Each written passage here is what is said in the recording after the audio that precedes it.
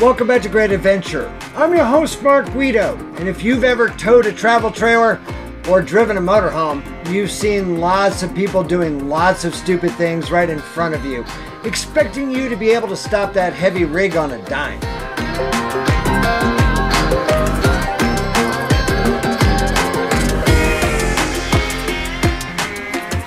That's where dash cams come in. And we're going to talk this week about why you need one. So, stay tuned.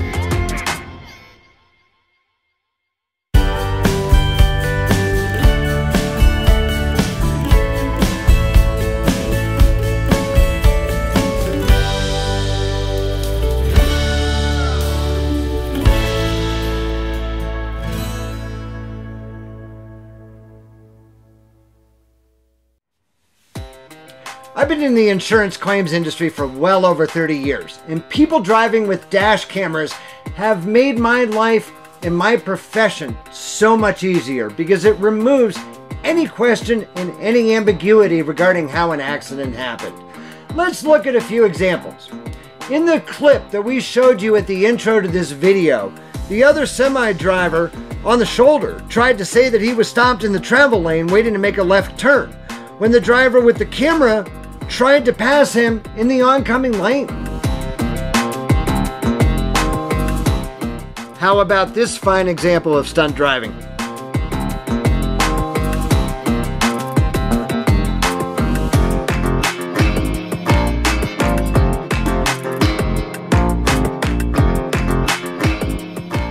We've all had the guy who passes your RV, then immediately changes lanes into your lane, squeezes in front of you, and slams on the brakes just trying to get to that exit ramp a split second earlier. Having a dash cam removes any question as to the events surrounding this accident. We hope that we've convinced you that these little gems are worth their weight in gold. But which dash cam to buy? We tried several cheaper models before settling on a Garmin Dashcam 57 and you get what you pay for. The cheap models struggle with high contrast lighting or night vision, and their resolution was insufficient for reading license plates. Not so with the Garmin, that we've tucked right behind our mirror. In this position, you can't even see it from the passenger compartment. We found on Amazon a wiring harness that adds a USB port to our auto dimming mirror, which eliminates another unsightly cable running to our dashboard to power the camera. In this way, the second we turn our ignition key, the camera turns on and starts recording for a completely mindless experience. Just set it and forget it. Let's take this little guy down and bring it inside to discuss some of Garmin Dashcam's features.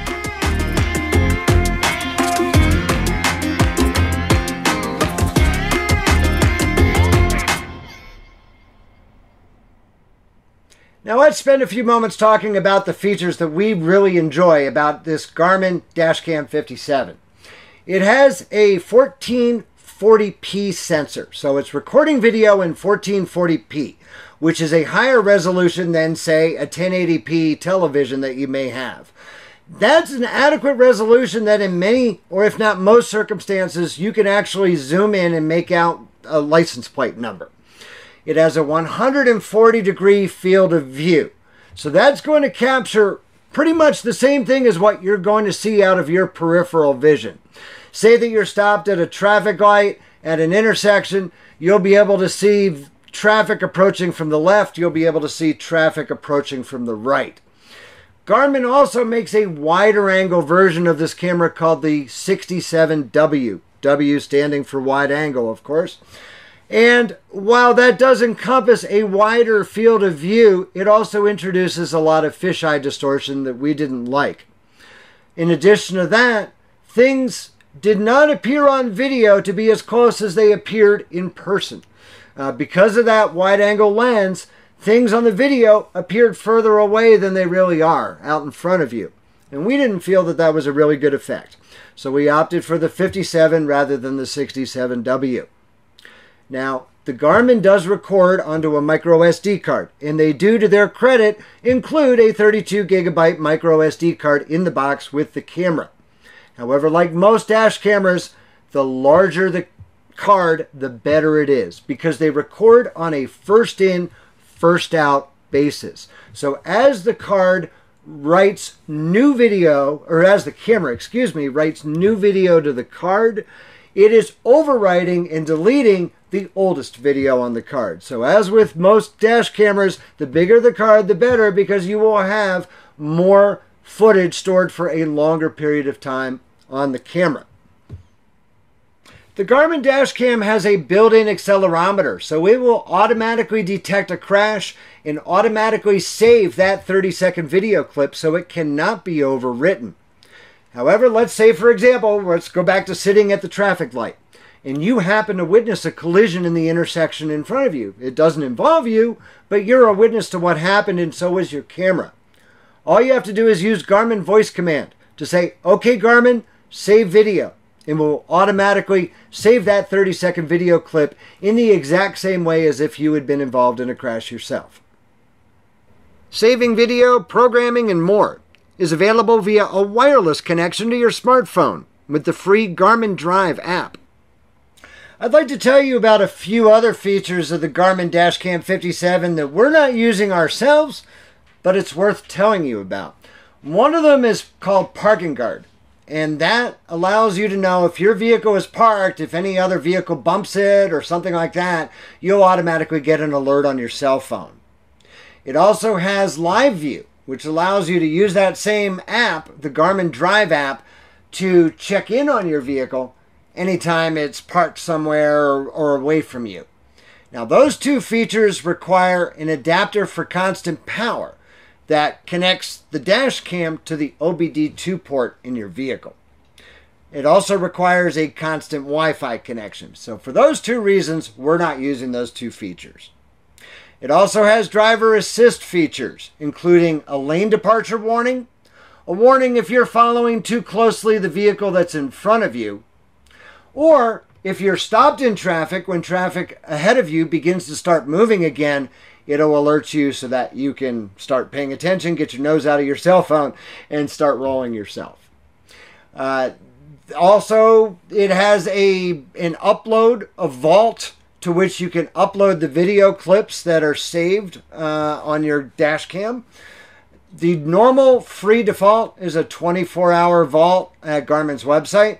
You can optionally purchase additional time for online cloud storage of your video clips.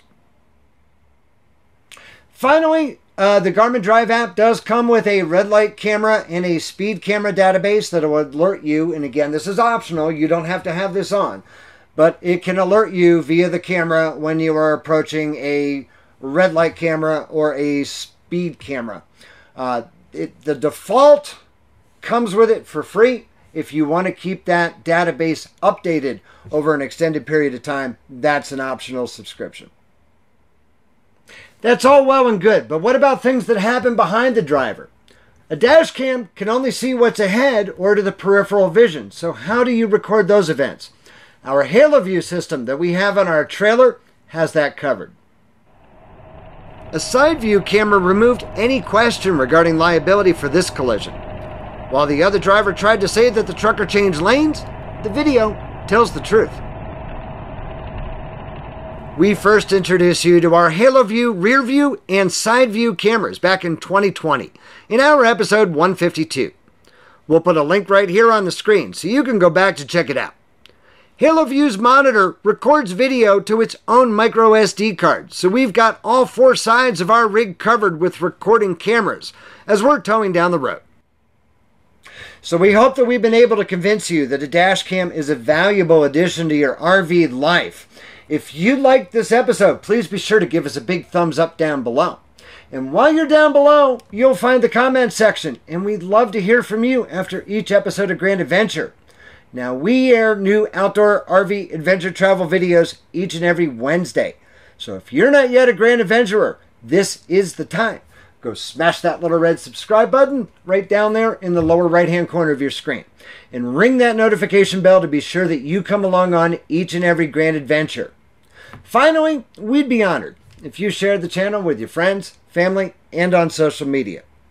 So until next Wednesday, please remember life is nothing but a grand adventure. We'll see you then.